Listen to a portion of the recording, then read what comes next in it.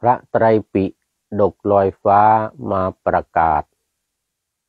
วัดพระธาตุดอยสุเทพ ทานกุศลอำนวยธรรมมทานแก่มวลชน ในสากลโลกล่าธรณี ออกอากาศทางวิทยุพอชจวดอยสุเทพทำวิถี จังหวัดเชียงใหม่นครพิงนี้ จะสาธกยกคำพีมาบรรยาย จากพระสูตรในพระไตรปิฎกสี วิในอภิธรรมดีวินิจฉัย จากพระโอษฐองค์พุทธพระจอมไตร อธิบายเสริมสร้างบางประการ สรุปใจความย่อพอสังเขป ให้คติเป็นสเตปตามแก่นสารฝากข้อคิดสกิดใจให้วิจารณ์ เพื่อเกิดความสำราญเบิกบานใจ ขอเชิญรับฟังอย่างสนุกสนานนำไปประกอบการงานทั้งหลาย ให้สับให้ประสบความสำเร็จเสร็จสบาย ปรารถนาสิ่งใดได้ดังปอง ปฏิบัติตามธรรมคำสั่งสอน จะให้ผลดลพรย้อนสนอง ธรรมจักรักษามาคุ้มครอง ท่านผู้ฟังทั้งผองตลอดไป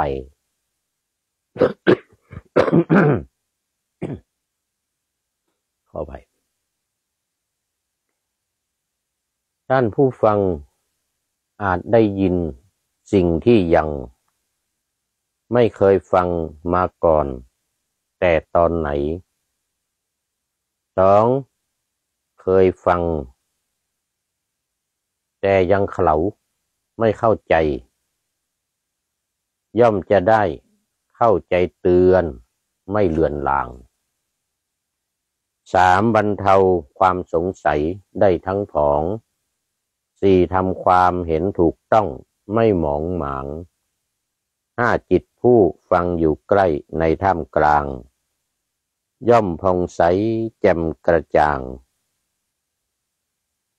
กันทุกคน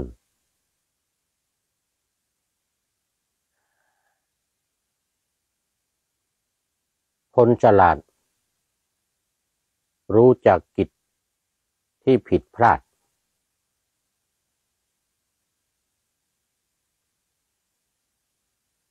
ของตนนะ เพราะประมาท ขาดกุศล ในอดีตมาก่อนแล้วสอนตน ว่าอย่าวนกลับไปทำซ้ำอีกเลย แต่ว่าคนฉลาดครันกว่านั้นหนอ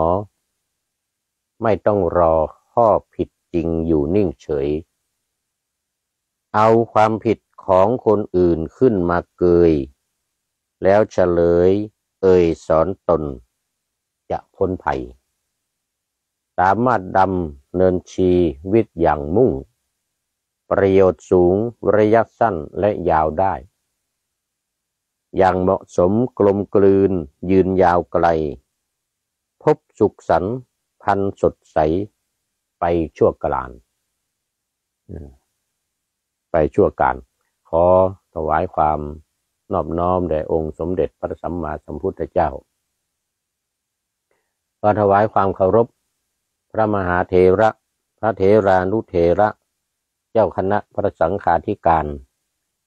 ทั่วโลก อันมีพระเดชพระคุณ พระธรรมเสนาบดี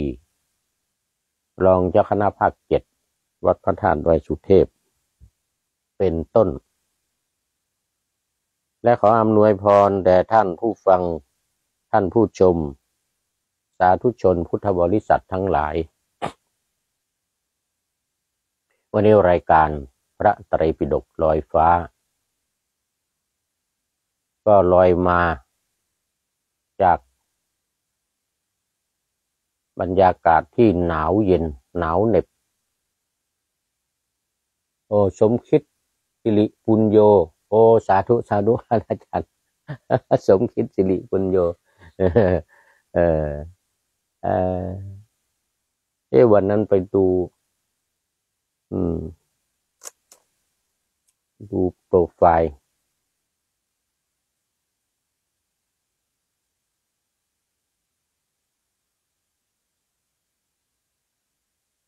อืม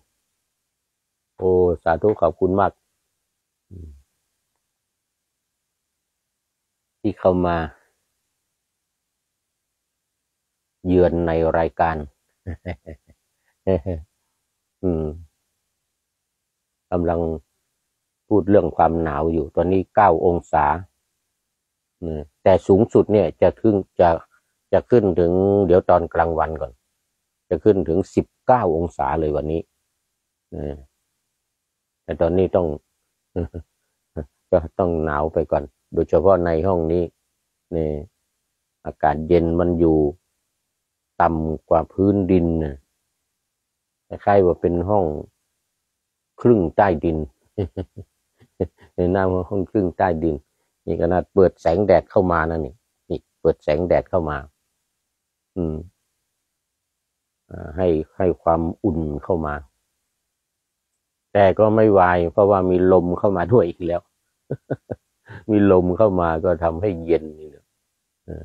ทำให้เย็น แต่ก็ทำให้อากาศดีไม่อุดอู้ ไม่อุดอู้ ไม่อึดอัดที่วัดพุทธมหาธาตุนี่ก็ดีหน่อยเพราะว่ารอบๆข้าง มีต้นไม้ เขียวชะอุ่มตอนนี้ฤดูใบไม้ผลิมาเป็นครึ่งเดือนแล้วเนี่ยเป็นเป็นครึ่งเดือนตอนนี้ก็ใบไม้โปร่งเขียวขจีขึ้นมา แล้วก็ต้นไม้ที่อยู่รอบๆนี่ก็ให้โอโซนที่ดีที่ดีมาก เรื่องอากาศนี่ดีมาก ถ้าไม่หนาวนี่นะเออ อาแม่ชีอรวรันมาแล้ว เออมณีรัตนโชตสาธุสาธุ อืม อ่า ตอนนี้ก็ที่เมืองไทยก็ อืมบายๆนะ ที่เมืองไทยก็บายบาย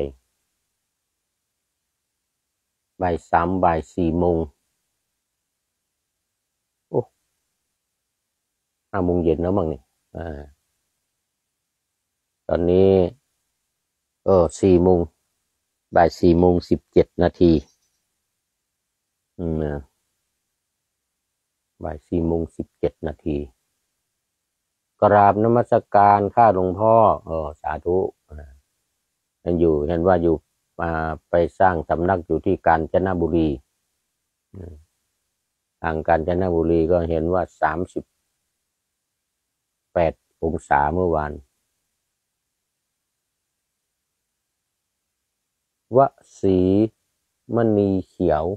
วสีหรือว่าลีเนาะเนี่ยนะน่าจะเป็นวสีนะมณีเขียว โอ้สาธุสาธุอืม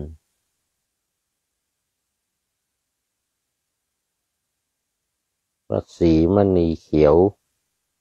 เมื่อกี้มณีรัตนโชตนี่มณีเขียว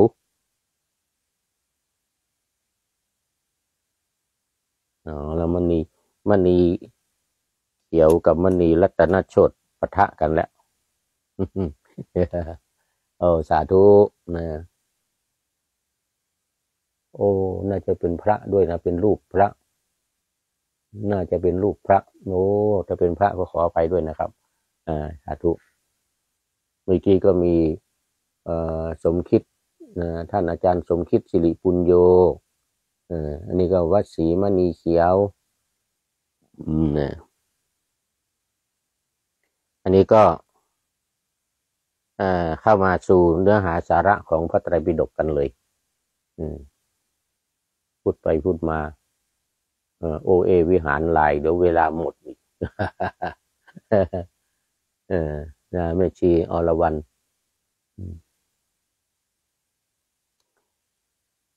ยังอยู่ในอาณาปานสติ อืม อาณาปานสติวิธีปฏิบัติอาณาปานสตินี่ เอ่อเข้าทางแม่ชีอรวรรณพอดีเลยเออชอบปฏิบัติอาณาปานอาณาปานอาณาปานสติกำหนดลมหายใจ การกำหนดลมหายใจเป็นของไม่ได้ซื้อไม่ได้ขาย เป็นของที่ติดตัวติดตนของเรานี่ง่ายในการปฏิบัติ แต่ขั้นตอนในการปฏิบัติตามพระตรปิฎกนี่ก็ดูจะยากหน่อยนะสิบหกขั้นตอนสิบหกขั้นตอน แต่ว่า สามารถนำไปประกอบกับกรรมฐานอื่น ๆได้ทุกอย่างเลยทุกอย่างเลย โดยเฉพาะสมถกรรมฐานเพราะอะไร เพราะว่าทำสมกรรมฐานอื่น ๆ ขณะที่หายใจเข้าหายใจออกเอาสติกำหนดที่ลมหายใจ เสร็จแล้วก็ทำกรรมฐานอื่นอย่างพุทโธภาวนาเนี่ยก็ใช้เอามาบริกรรมขณะที่หายใจเข้าหายใจออก แล้วก็ใจยังวิธีการนับได้อีกด้วยนะ นับหนึ่งสองสามสี่ห้านี่นะพุทโธหนึ่งพุทโธสองพุทโธสามอย่างเงี้ยนะหายใจเข้า พุทหายใจออกมาโธอย่างนี้ก็มี แล้วก็วิปัสสนา การปฏิบัติวิปัสสนา การพิจารณาอารมณ์ของวิปัสสนาเจ็ดสิบสามข้อเนี่ยก็สามารถทำขณะที่กำหนดลมหายใจไปด้วย หายใจเข้าหายใจออก แล้วก็กำหนดเหมือนในขั้นตอนที่สิบห้าสิบหกก็พิจารณาไปถึง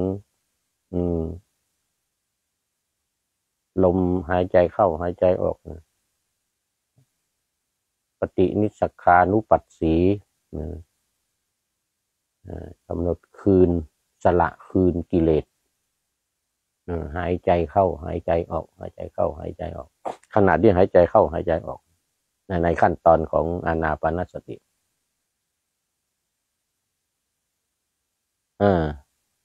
กำหนด หายใจเข้าสั้น รู้ว่าเออหายใจเข้าสั้น แล้วก็หายใจเข้าไป โอ้ขณะนี้เราหายใจออกยาวอืมแล้วกำหนดรู้กำหนดรู้หายใจคนที่มันออกกำหนดหายใจออกยาวกำหนดปีติกำหนดปีติแล้วก็หายใจเข้าโอ้กำหนดถึงปีติหายใจออก มีอารมณ์ของกรรมฐานทุกอย่าง สามารถนำมาประกอบขณะที่หายใจเข้าหายใจออก ขณะมาพิจารณาขณะที่หายใจเข้าหายใจออกทำให้สมาธิแนบแน่นทำให้สติ มั่นคง สติแนบแน่นแนบแน่น แนบเนียนเนี่ยนะเพราะการกำหนดสองอย่าง กำหนดถึงลมลมเข้าลมออกด้วย แล้วก็กำหนดกรรมฐานนั้น ๆด้วยไม่ว่าเป็นสมถกรรมฐานหรือวิปัสสนากรรมฐาน อสุภกรรมฐานก็ตามอะไรก็ตามหายใจเข้าก็กำหนด หายใจออกก็กำหนดกรรมฐานเหล่านั้นตามไปด้วยตามอัธยาศัยเลยแปลว่าเป็นฐานเป็นต้นเป็นที่ ที่ฝึกเป็นฐานของกรรมฐานต่างๆ อารมณ์ต่างๆ เอามาไว้ที่การหายใจ ขณะที่หายใจเข้าหายใจออกอก็มาดูในอานาปานสติสูตรนะอานาปานสติสูตรนี่ว่ามาสองสามวันละยาวมากว่าด้วยกรรมฐานอื่น ๆ เช่นมีความเพียรเจริญอนิจจสัญญาอยู่ เจริญความเพียรอันนี้จัดสัญญาความกำหนดความไม่เที่ยงขณะที่หายใจเข้าหายใจออก ยิ่งรู้ชัดว่า โอ้มัน มันไม่เที่ยงเนะก็อะไร หายใจเข้าไปแล้วก็มันไม่อยู่นาน อยู่นานนานได้แค่หนึ่งนาทีสองนาทีสามนาทีก็ออกมาแล้วนั่นแสดงว่ามันไม่เที่ยง ถ้ามันเที่ยงมันก็อยู่อย่างนั้นตลอดหายใจอยู่อย่างนั้นตลอด อืม หรือ อืม ออกมาแล้วก็ โอ้ไม่ไม่หายใจเข้าไปอย่างเงี้ยออกมาแล้วก็ออกเลยอย่างเงี้ยนะออกไปเที่ยงแท้แน่นอนอันนั้นมันก็ เข้าออกเข้าออก อาการที่มันเข้ามันออก คืออาการของความไม่เที่ยงเรียกว่าอนิจจสัญญาอันนี้จะสัญญากำหนดเป็นวิปัสสนา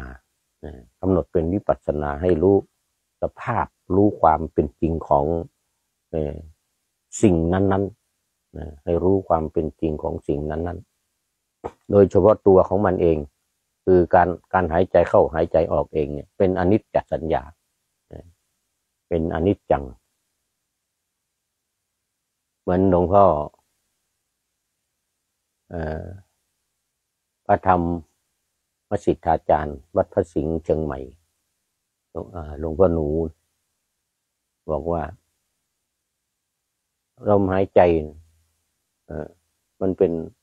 อนิจจัง หายใจเข้าแล้วถ้ามันเป็น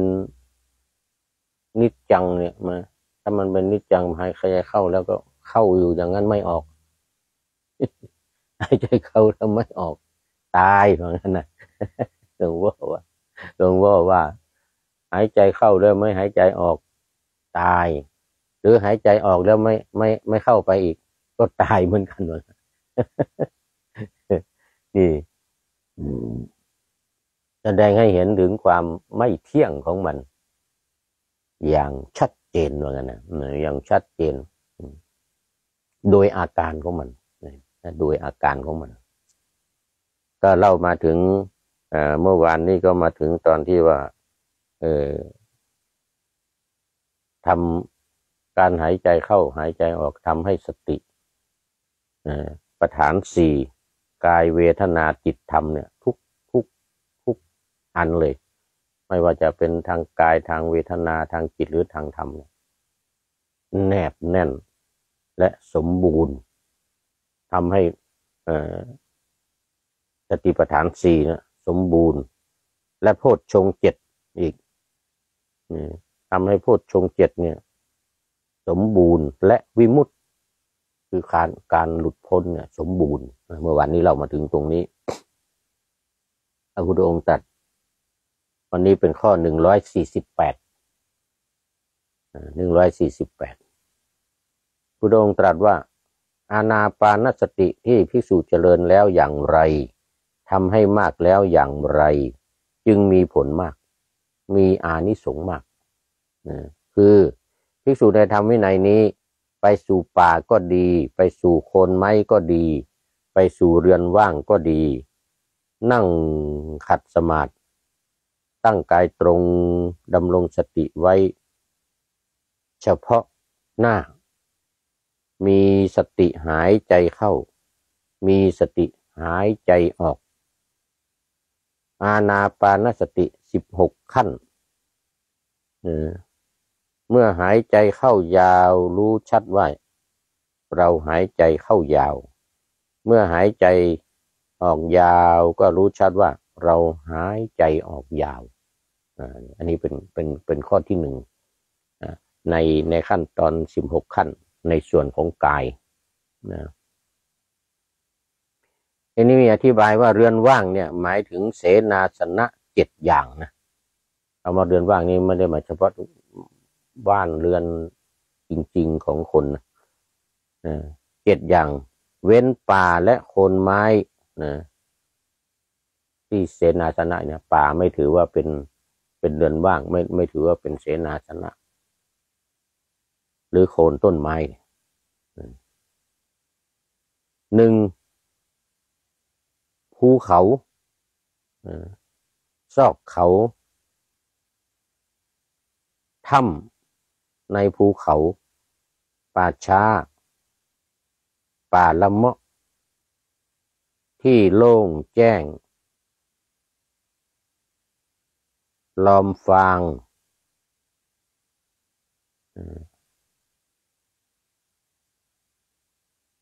ที่โล่งแจ้ง ลอมฟางเหลือนบ้างเจนาสนะเจ็ดอย่าง เว้นป่าและคนไม้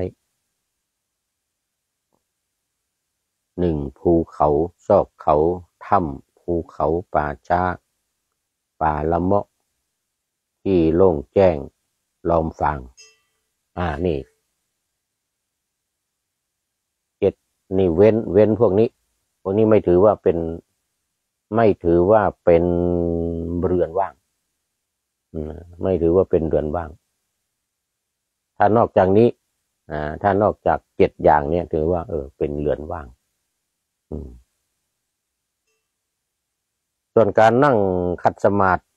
หมายถึงนั่งพับขาเข้าหากันทั้งสองข้าง เรียกว่านั่งขัดสมาธิ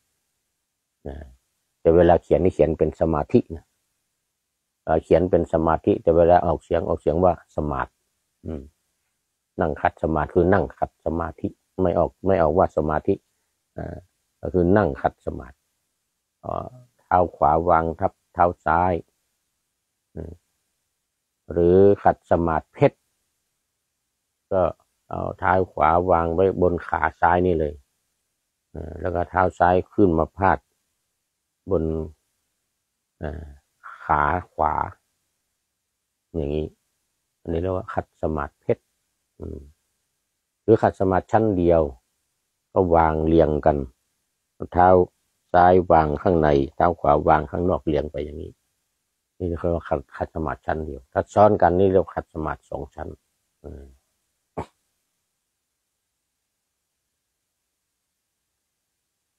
ที่ว่าขัดสมาธิเพชรนี่ เกิดจากฝรั่งนะอืม ฝรั่งบอกว่า นี่การนั่ง เนี่ย นั่งตัวตรงแล้วก็ เอาขาพาดมาสองข้างเนี่ย ตัวนี้มันจะต่ำลงมาเหมือนกับเพชรอย่างเงี้ยนะเหมือนกับเพชรที่อยู่บนหัวแหวนนะมันมันมันจะไม่สูงขึ้นอย่างนี้นะมันมันจะต่ำลงมาเพราะว่าเพราะว่ากระทัดกระชับขาสองข้างเข้าหากันนั่นอย่างนี้ดูดูแล้วเนี่ยเหมือนกับเพชรอยู่ที่บนหัวแหวนเหมือนกันนะ อันนี้ฝรั่งก็เลยเรียกว่าเนี่ย diamond sitting เหมือนกันนะเอออ่าภาษาไทยเราก็เลยเรียกกันว่า ขัดสมาธิเพชรอืม ส่วนนั่งแบบดอกบัวนี่นั่งธรรมดาสูงขึ้น ลงมาฐานแขนขา เหมือนเหมือนกับดอกบัวที่มันสูงขึ้นอย่างนี้ เขาเรียก lotus sitting เหมือนกันนะนั่งเครื่องขัดสมาธินั่งขัดสมาธิดอกดอกบัวเหมือนเหมือนดอกบัวที่เราตัดก้านออกนะแล้วก็มาวางจี้กง โอ้สาธุสาธุจี้กงเข้ามาแล้ว เป็นพระด้วยหรือเปล่าโอ้ลูกไม่ชัดเจนสีแดงแดงจี้กูเป็น ถ้าเป็นพระก็เป็นพระจีนนะนี่ อืมเป็นพระจีนอ้าวพี่นิติมาแล้วพี่นิติแก้วเคน อืม จากกรุงเทพมหานคร สาธุสาธุเออวันนี้มีมณีโชดมณีเขียวเออพิเนติแก้วเคน เออ ป็นยังไงเนาะบรรยากาศทางกรุงเทพวันนี้ อืม ที่นี่เก้าองศานะแต่สูงสุดนี่นี่ยังนี่ยังตอนเช้าอยู่สิบโมงเก้าโมงสิบโมงเช้า เริ่มขึ้นมาเก้าองศาจากเจ็ดจากเจ็ดขึ้นมาเก้าองศา เดี๋ยวตอนกลางวัน ตอนบ่ายๆไปนี่สิบ เก้าองศาทำงานหนักเลยครับ อาจารย์ว่างั้นนะโอ้ทำงานหนัก โอ้พี่เนติไปทำงานอะไรเนี่ยเกษียณแล้ว หรือไปทำงานพิเศษ ที่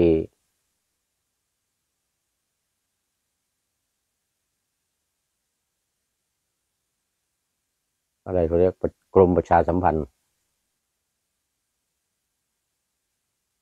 อืมทำงานหนักมากว่างั้นนะทำงานหนักเลยครับ อืมโอ้โหโอ้สาธุสาธุอืม ให้เปรมิกอะให้เปรมิกทำให้เปรมิกมาเลี้ยงเปรมิกกับปริชยา อืมเอานะจีกุงเนี่ย โอ้จีกงเข้ามาแล้ว อืมเอาทีนี้มาพูดต่ออานาปนสติที่มีมาในพระไตรปิฎกนะตามตามพระไตรปิฎก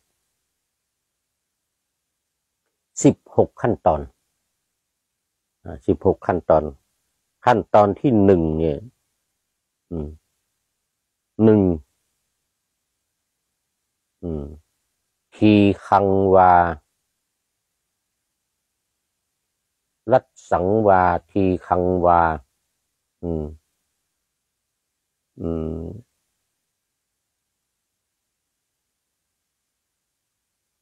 รัดสังกับทีคัง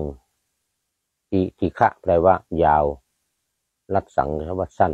เมื่อหายใจเข้าสั้น ก็รู้ว่า เออ เนี่ย หายใจเข้าสั้น รู้ชัดว่าหายใจเข้าสั้น อ่า แล้วหายใจออก สั้นก็รู้ชัดว่าหายใจออกสั้น ทีคังก่อน ทีคังว่า อืม หายใจเข้านะหายใจเข้ายาว ก็ให้รู้ว่า โอ้ขณะนี้เราหายใจเข้ายาว อืม เหมือนเหมือนหลวงพ่อวัดพระธาตุดอยสุเทพหลวงพ่อพระธรรมเสนาบดี กำหนดหายใจเข้ายาวว่าพุทด้วยนะ พุทโธอะพุทโธพู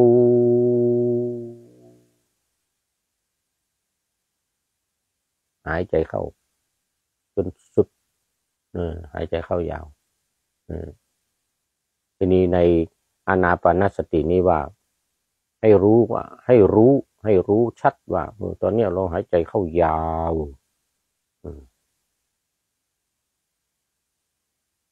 ทีคังทีคังหายใจเข้ายาว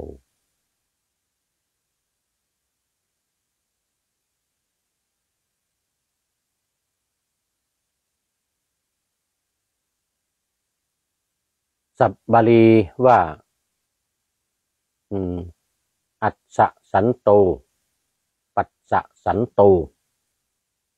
นี่แปลไม่เหมือนกัน ในในพระสูตรกับพระวินัย ในในพระสูตรจะแปล อัศสันโตหายใจเข้า ปัสสะสันโตหายใจออก แต่ในวินัยในวินัยในพระไตรปิฎกเหมือนกันนี่แหละ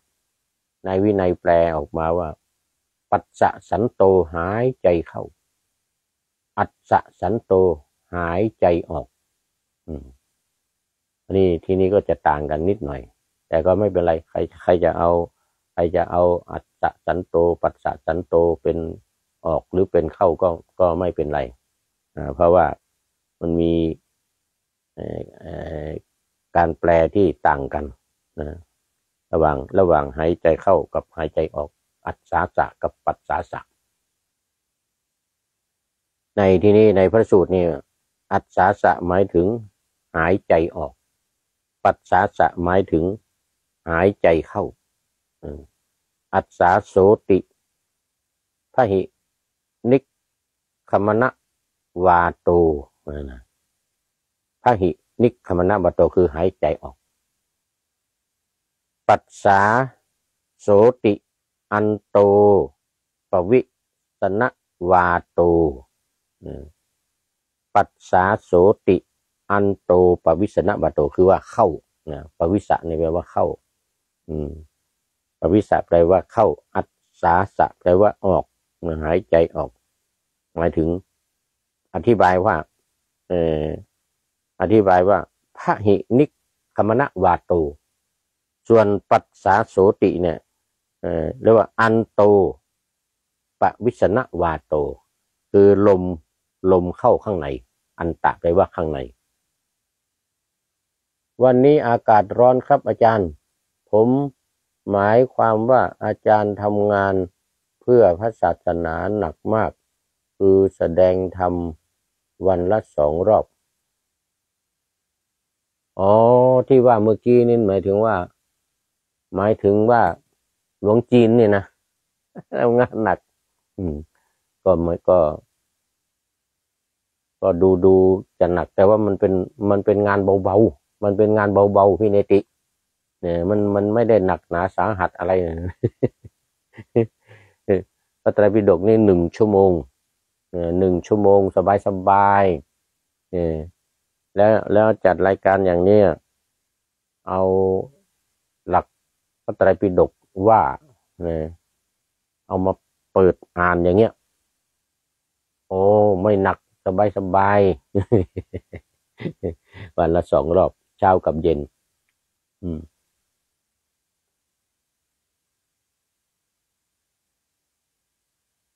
เช้าเช้าที่นี่แต่วันเย็นที่เมืองไทย อันนี้ก็พอพอตอนเช้าที่เมืองไทยประมาณตีสี่ตีห้าที่นี่เนี่ยมันเป็นกลางวัน มันเป็นกลางวันนี่แล้วเออเดี๋ยวมันมันเป็นกลางคืน ตอนสี่ทุ่ม สี่ทุ่มห้าทุ่มเที่ยงคืนวันวันวันละวันละสองรอบ ถือว่าไม่หนักเป็นงานเบา ถือว่าเป็นงานเบาเพราะว่า ตอนนี้เนี่ยทำงานให้กับ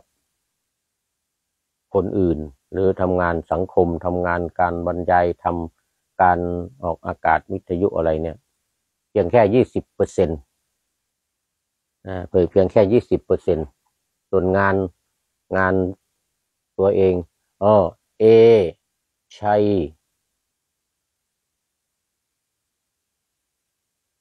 ขุน ขุนนาวง คุนาวง เออ อันนี้เขียนเป็นขุนนาวงขุนนาวงนะ อืมอันนี้เป็น FC ใหม่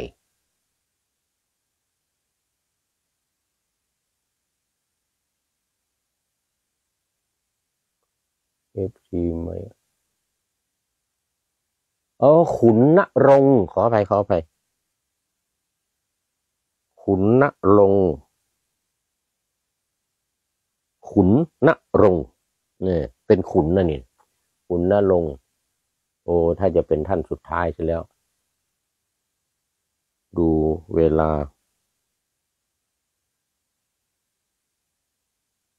อ๋อยังยังยังยังชัยขุนนรงเอ โอ สาธุ สาธุเอออ่าพูดถึงตอนนี้ ที่ว่าทำงานเบาเนี่ยนะ งานเบานี่คืองานสำหรับคนอื่น งาน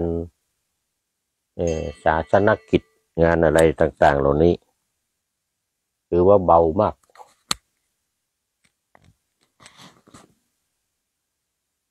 อืม เบามากสิบห้าเปอร์เซ็นไม่เกินยี่สิบเปอร์เซ็นเรียกว่าปละหิตะปฏิบัติ ทำเพื่อผู้อื่น ส่วนอัตตหิตะสมบัติทำเพื่อตัวเอง นี่แปดสิบเปอร์เซ็นเลย ตั้งแต่เกษียณอายุการทำงานมาเนี่ยนะเออเกษียณจากมจรเกษียณจากคณะสงฆ์เกษียณจากวัดคือเจ้าอาวาสเกษียณจากคณะสงฆ์ก็งานตำแหน่งรองเจ้าคณะอำเภอลาออกมาแล้วแต่แล้วก็ งานการสอนในมหาวิทยาลัย อายุหกสิบเอ็ดก็เกษียณมาแล้วสิริคำพีแดนสงบสิริคำพีแดนสงบ โอ้ นี่เป็นพระ เป็นพระโอสาธุสาธุสิริคำพีแดนสงบ อืม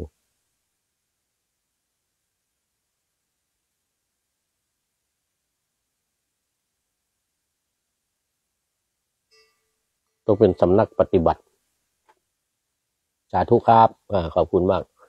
เออเอชัยขุนนรงนี่ก็ไม่แน่ใจรูปดูไม่ชัดเออจะเป็นพระหรือเปล่า ถ้าเป็นพระก็ขออภัยด้วย เออ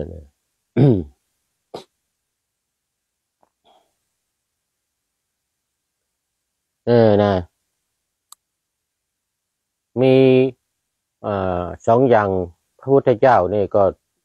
ของของเรานี่จะตรงกันข้ามกับพระพุทธเจ้าเรื่องของการทำงานพิเนติ พระพุทธเจ้านี่ทำงานเพื่อตัวเองเนี่ยยี่สิบอสงไขยยิ่งด้วยกำไรแสนกับทำเพื่อตัวเอง คือบำเพ็ญบารมี โดยเฉพาะตอนใกล้จะบั้นปลายชีวิต อายุสี่สิบห้าสิบหกสิบเจ็ดสิบไปเนี่ยหรือตอนอายุเป็นหมื่นก็ตามเนี่ยในช่วงไหนที่ช่วงไหนที่คนอายุยืนเป็นหมื่นเป็นห้าหมื่นแปดหมื่นนี่นะตอนสามหมื่นสี่หมื่นนี่ก็ทำงานควบคู่กันไป ถ้าเข้าไปสี่หมื่นห้าหมื่นไปจนถึงใกล้จะบ้านปลายชีวิตก็จะทำเพื่อตัวเอง เพื่อตัวเองเพื่อตัวเองมาก มาจนถึงตรัสรู้ถึงวันตรัสรู้แล้ว หลังจากตรัสรู้แล้วสี่สิบห้าปีเนี่ยทำเพื่อผู้อื่นอย่างเดียวเลยทีนี้แปดสิบเปอร์เซ็นต์อืมทำเพื่อผู้อื่นในแปดสิบเปอร์เซ็นต์ของตัวเองเหลือสัก ห้าเปอร์เซ็นสิบเปอร์เซ็นหรือบางทีอาจจะไม่มีเลยก็ได้ อืมอันนั้นทำเพื่อผู้อื่นปละหิตะปฏิบัติ หลังจากตรัสรู้แล้ว ก่อนตรัสรู้เนี่ยยี่สิบมาสงไขมาเนี่ยนะทำเพื่อตัวเองมากแปดสิบเปอร์เซ็นต์ตรงกันข้ามกับเราตอนนี้ ตอนนี้เรากเกษียณเกษียณแล้ว ก่อนก่อนเกษียณอายุ ทำงานไม่ว่าจะทางมหาวิทยาลัยทางคณะสงฆ์แล้วก็ทางวัด เป็นเจ้าอาวาสเนี่ยนะทำงาน อืมยี่สิบสี่ชั่วโมงเนี่ยนะอืมบางทีตีหนึ่งตีสองก็มีคนมาเรียกเนี่ยนะ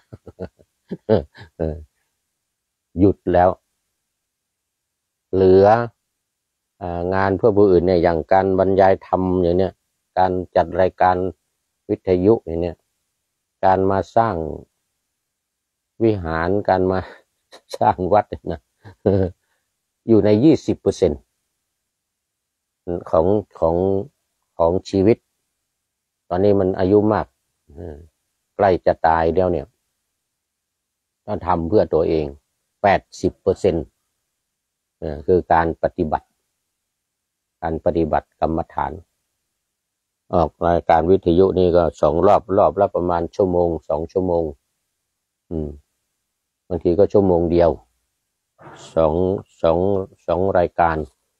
นะถ้าสองชั่วโมงก็สามรายการนะอย่างวันนี้เนี่ยรายการไตรปิฎกลอยฟ้ารายการธรรมทัศน์นะวันนี้คงได้สองวันนี้คงได้สองไม่ไม่อีกรายการหนึ่งหลังทำวัดเย็นตอนนี้หยุด เพราะว่าที่วัดพระธาตุดอยสุเทพมี งานวิสาขาบูชามีเทศทุกวันตอนเย็นรายการธรรมะหลังทำวัดเย็นก็หยุดก่อน ไปจนถึงวันที่ยี่สิบเอ็ดแล้วก็จะไปเริ่มอีกทียี่สิบสองเป็นต้นไปธรรมะหลังทำวัดเย็นสามสิบนาที ธรรมทัศน์สามสิบนาทีเป็นหนึ่งชั่วโมง แล้วก็พระไตรปิฎกลอยฟ้าหนึ่งชั่วโมง รวมแล้วเป็นสองวันละสองชั่วโมง อืม ยี่สิบสี่ชั่วโมงเนี่ยวันละสองชั่วโมงเนี่ยทำเพื่อคนอื่นทำทำศาสนกิจทำงานเพื่อคนอื่น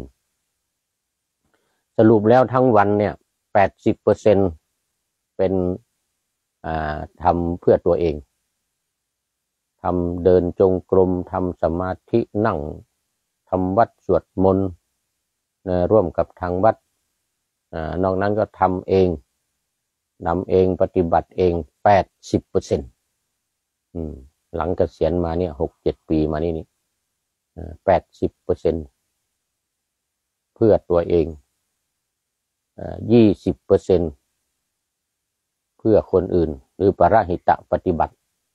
เนี่ยอัตตหิตะปฏิบัตินี่ก็เพื่อตัวเองนี่อัตตหิตะปฏิบัติ อัตตหิตะสมบัติเนี่ยนะเป็นสมบัติของเราเองของตัวเองแปดสิบเปอร์เซ็นต์ รงกันข้ามกับพระพุทธเจ้า พระพุทธเจ้าช่วงอืมทำช่วงทำงานบำเพ็ญบารมีนั้นทำเพื่อตัวเองมากแปดสิบเปอร์เซ็นทำเพื่อคนอื่นแค่ยี่สิบเปอร์เซ็นส่วนหลังจากตรัสรู้แล้วทำเพื่อตัวเองแค่ยี่สิบเปอร์เซ็นนอกนั้นเพื่อคนอื่นแปดสิบเปอร์เซ็นต์นะอันนี้เรายังไม่ยังเรายังไม่ได้บรรลุ เรายังไม่ตรัสรู้นะเรายังไม่ได้บรรลุยังไม่ได้ตรัสรู้นี่ก็ อืม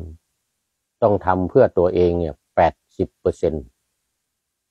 อืมนี่หลังจากที่เกษียณอายุการทำงานมานะอืม หลังจากเกษียณอายุทำก่อนก่อนเกษียณนั้นก็ทำเพื่อคนอื่นอยู่แปดสิบเหมือนกัน ตัวตัวเองได้น้อยเดียว ประมาณยี่สิบเปอร์เซ็นต์ มีมีอะไรบ้างมีการทำวัดสวดมนต์ฮะอืมหลังทำวัดสวดมนต์ก็ทำสมาธิภาวนาเล็ก ๆ น้อยๆห้านาทีสิบนาที ไม่เกินสามสิบนาทีอย่างเงี้ยเรียกว่าตัวเองนี่ได้น้อยมากนะแต่งานของคนอื่น งานมหาวิทยาลัยงานคณะสงฆ์แล้วก็ โดยเฉพาะงานเจ้าอาวาสงานภายในวัดแปดสิบเปอร์เซ็นต์เนี่ยตอนก่อนก่อนไม่เกษียณนี่นะแล้วหลังเกษียณมานี่นี่แปดสิบเปอร์เซ็นทำเพื่อตัวเอง เออยี่สิบเปอร์เซ็นเนี่ยทำเพื่อคนอื่นเนี่ยอย่างวันเนี้ยในในแต่ละวันเนี่ยในแต่ละวันเนี่ยบรรยายทำจัดรายการนี้แค่สองชั่วโมง เหลืออีกยี่สิบสองชั่วโมง หลับแค่สี่หลับนี่นะอย่างน้อยสี่ชั่วโมง บวกนี่สองชั่วโมงเป็นหกมันเหลืออีกหน่อยสิบแปดชั่วโมง อืมทำกิจเพื่อตัวเองสิบแปดชั่วโมงเลยสิบแปดชั่วโมงเลยทำอะไรทำอะไรได้ทำอืม เดินจงกรมก็เอา นั่ง สมาธิก็เอานอนก็ทำอืมเอที่มันที่มันเป็นเป็นประโยชน์ต่อตัวเอง อันนี้เป็นคติของผู้พูดนี่นะ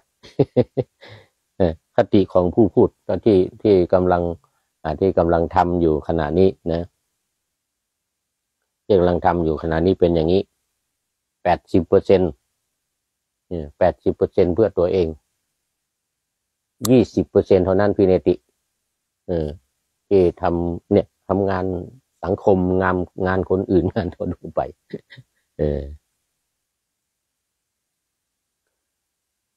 อ้าวอ่า ข้อที่หนึ่งในในการปฏิบัติอานาปานสติข้อที่หนึ่งนะหายใจเข้ายาว หายใจออกยาว ก็รู้ว่าหายใจเข้ายาว หายใจออกยาว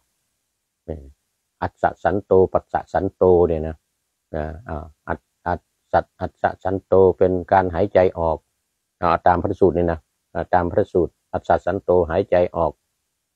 แล้วก็ปัสสะสันโตหายใจเข้าที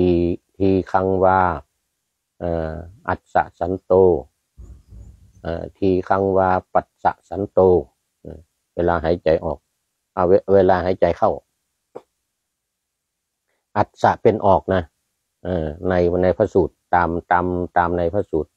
อัศเป็นออกปัสสะปัสสะปัสอัศสะนะขออภัยอัศสะเนี่ยเป็นหายใจออกจะมีอธิบายว่าพระหิ นิขมณวาโต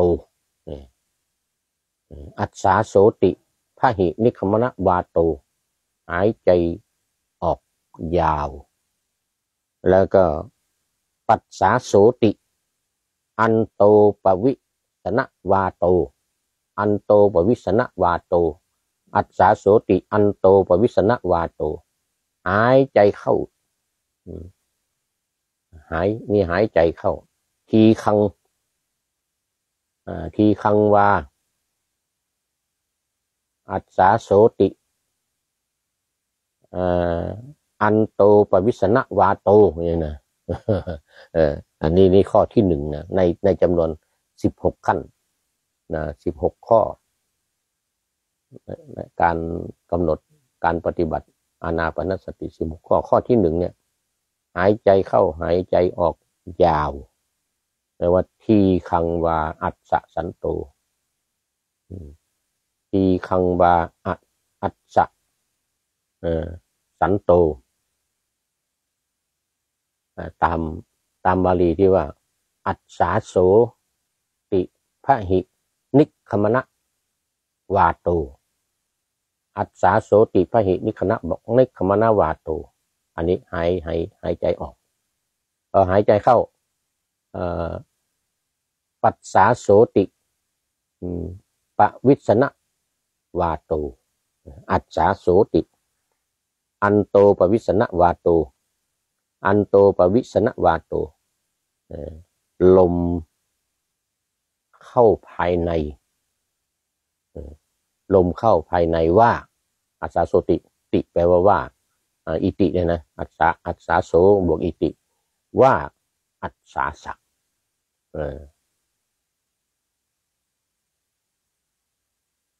ส่วน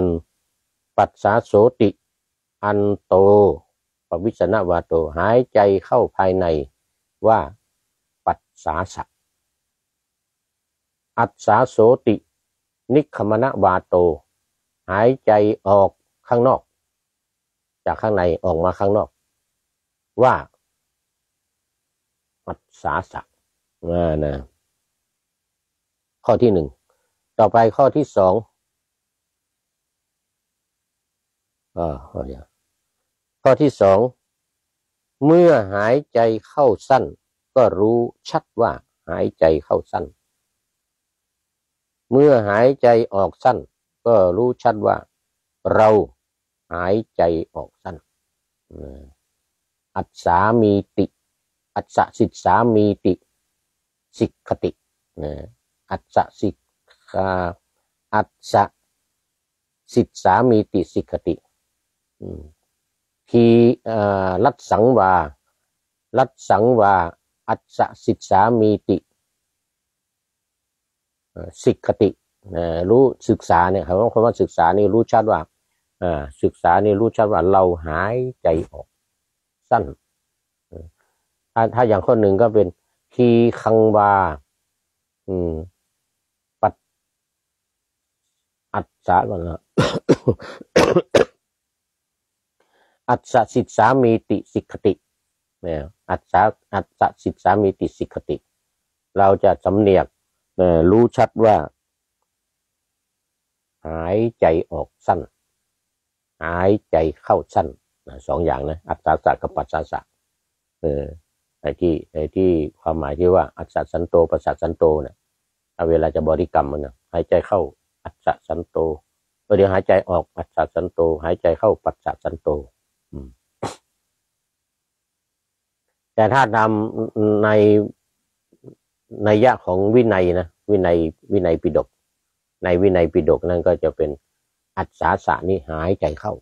นะเป็นอันโตปวิสนะวาโต ส่วนปัสสาสะเนี่ยภาษาโสติเป็นพหินิคณะนิคมณะวาโต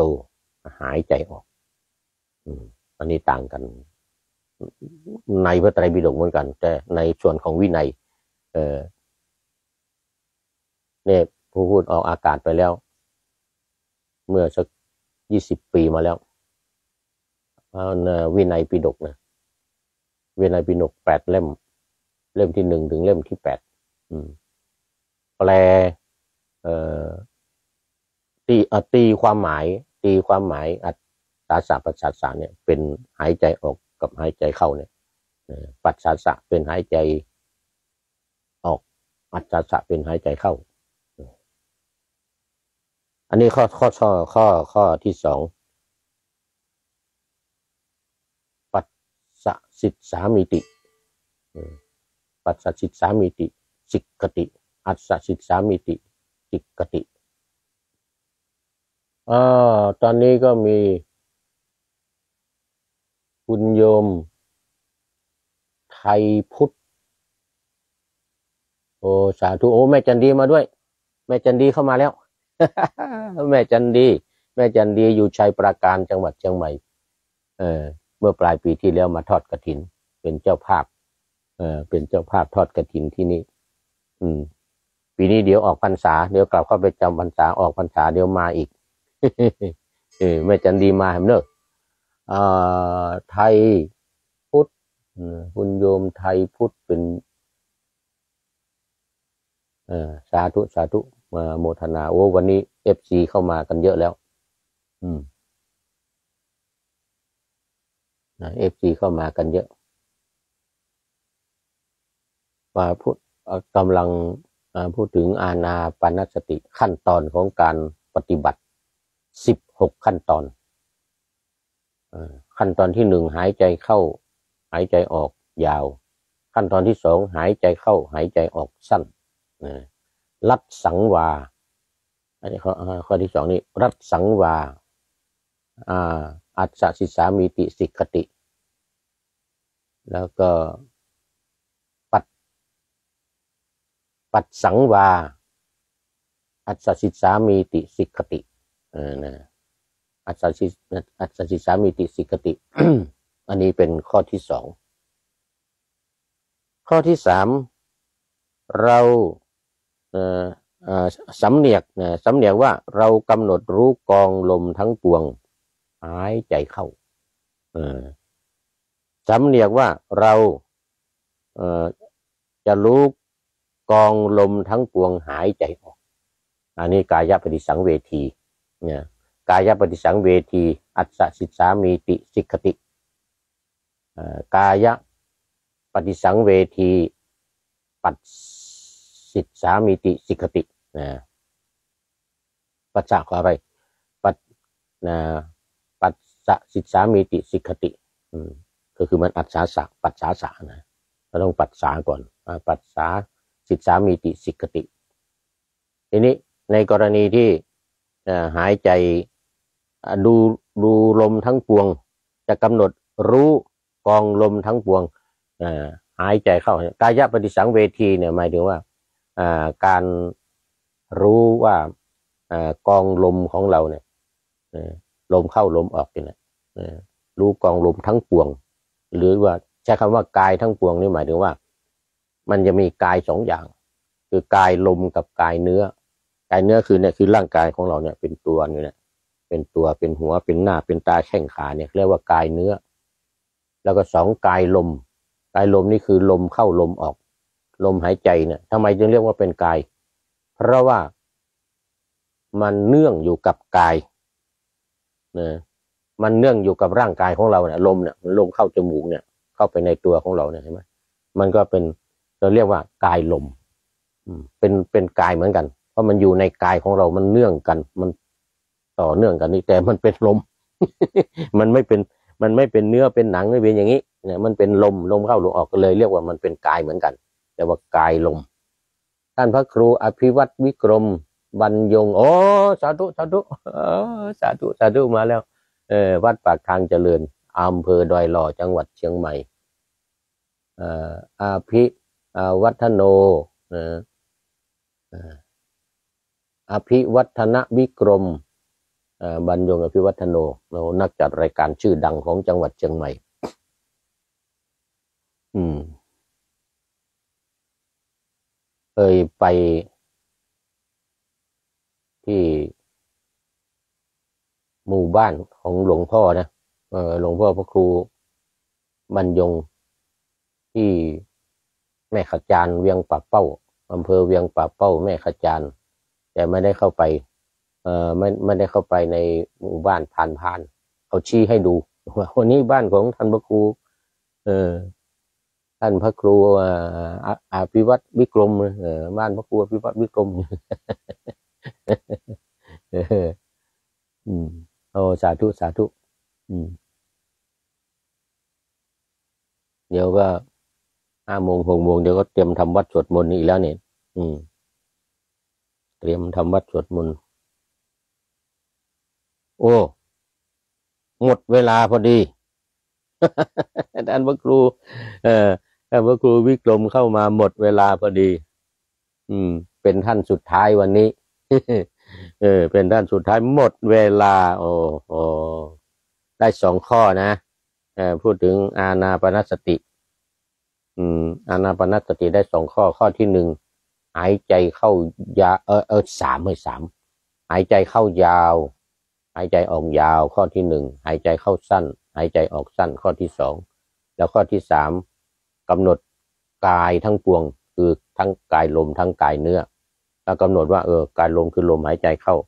กายลมคือลมหายใจกายเนื้อคือร่างกายเหล่านี้แล้วก็หายใจเข้ากำหนดรู้กายทั้งปวงแล้วก็หายใจออก นี่เป็นเป็นข้อที่สามส่วนข้อที่สี่นั่นจะเป็นการระงับลมหายใจเนี่ย กำหนดว่าเออเราจะระงับลมหายใจนะคือคือผ่อนผ่อนลมหายใจลง เออให้ให้หายใจเบาๆจากการหายใจแรงดังฟึดฟัดฟึดฟัดเนี่ยนะก็ให้ระงับลงคือหายใจเบาๆลง แล้วก็หายใจเข้าจะระงับลมหายใจหายใจออก อันนี้เป็นข้อที่สี่ในกายานุปัสสนา เอาวันนี้เอาไว้แค่นี้ก่อน เดี๋ยวมันจะมี เวทนานุปัสนา จิตตานุปัสนาธรรมานุปัสนา อย่างละสี่ข้อสี่ข้อ เดี๋ยววันต่อไปเราก็มาคุยกันอีกอขอบคุณทุกทุกท่านที่เข้ามาวันนี้โอ้ป้าจันดีก็เข้ามาในในเมื่อกี้นี้เอง เออนะขอนำทำขอนำพระไตรปิฎกลอยฟ้าไป จากผู้ฟังทั้งหลายในโลกล่า วันต่อไปจะได้จรย้อนกลับมาสู่สถานีใหม่ให้ท่านฟัง อย่าลืมเปิดวิทยุหรือเครื่องรับโทรศัพท์โมบายคอมพิวเตอร์ผัง